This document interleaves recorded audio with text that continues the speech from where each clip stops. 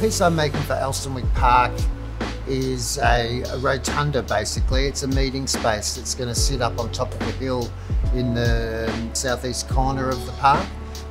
It's a tall circular pavilion made up of reeds joined together up at the top, arching in, in a sort of uh, gothic shape. Originally I was inspired by the reeds that are in those wetlands it's also designed to frame some of the aspects of the view from the hill. So the city skyline will be caught in certain aspects of the piece. So it's a space for contemplation as well.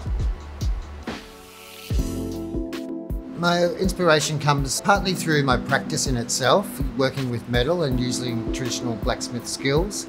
A lot of my designs are based around what I can produce with the material, how I can take it in different directions. A lot of my aesthetic inspiration comes from the natural world, from nature in itself. And I suppose my philosophical work comes through the idea of genius loci, which is the spirit of place. So I'm interested in exploring what makes a place and how those spaces are defined by their community and the natural world. I don't use any CAD design or modern design techniques. When I'm starting a piece, I basically work with pencil and paper. I then create a little model or a maquette, which I then work from for dimensions to create the larger piece. The reeds were rolled a, at a roller and then brought into the workshop and joined together and modified to create the shapes and the form that I wanted. All the leaves are traditionally hand forged, so that means they're put through a fire hammered over the anvil. There's no laser cutting.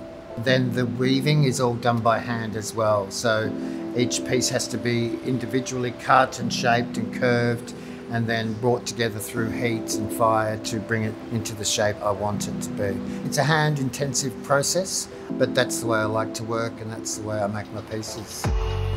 I hope it really does sort of spark imagination for kids. I had my young nephew in here the other day and he was sort of imagining being a little animal living in the, in the reeds. That was really a nice thing to see. I hope it does sort of create a sense of contemplation and also celebration. It's one of the only sort of remnant wetlands of, of the Elster Creek that runs through the northern part of the park.